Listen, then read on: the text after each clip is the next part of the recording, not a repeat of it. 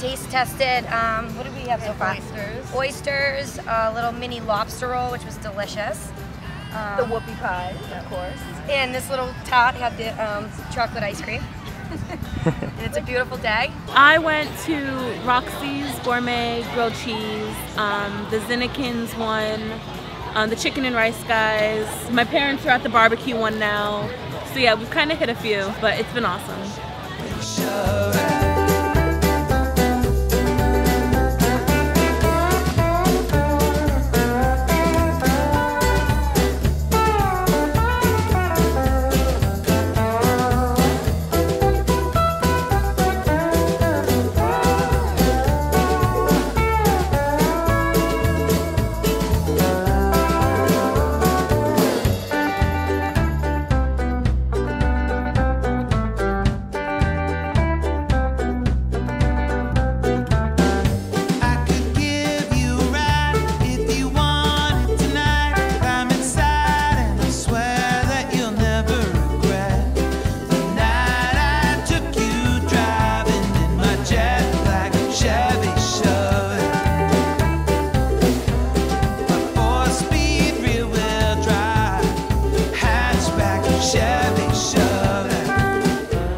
Been awesome. We had a great crowd, huge turnout, still a lot of people here, and uh, it's great to see everyone's smiling faces after they have some samples.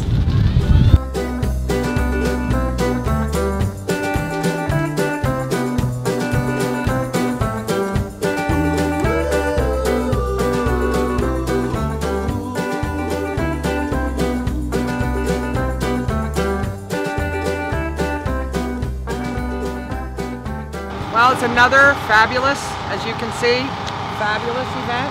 Packed house in Worcester, back for our fourth year. Um, and uh, the people of this area really love food trucks. The food trucks actually really also love the people of this area. So it works out very well. Gotta go eat.